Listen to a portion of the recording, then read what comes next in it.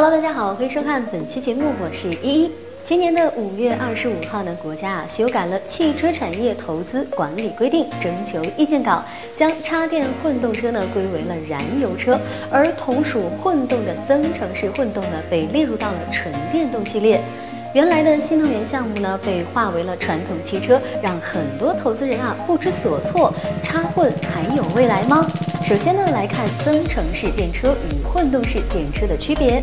那在发动机上呢，这两者啊都是有着电动机与燃油发动机的。不同的是，增程式电车的燃油发动机呢，只是为电机充电的，起到了发电机的作用，驱动上呢是完全由电动机来承担的。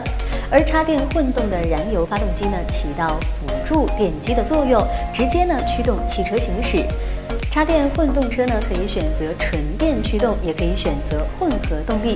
比较呢，这两者的优缺点呢，可以很直观的看出发展前景。首先呢，在续航能力上，插电混动的纯电续航大概呢保持在一百千米左右，可以看出呢，它其实啊是基本上靠的是燃油驱动的，电机呢只是个辅助品，应急用的。而增程式呢，在续航能力上就要高出很多了。成熟的纯电动车呢，基本上都在三百千米以上。所以呢，插电式混动啊，并不能算真正的纯电动车。但是目前来看呢，插电混动车还是占有着市场先机的。目前呢，市面上的增程式混动车是很少的，主要的原因呢是研发难度很大。所以呢，增程式啊，都是一些资金雄厚的大型车企在做。插电式的混动的开发难度呢，相对来说就要小一些了，价格也比较的低廉，续航能力也强。而增程式的价格呢，在短时间内不会有着太多的下调。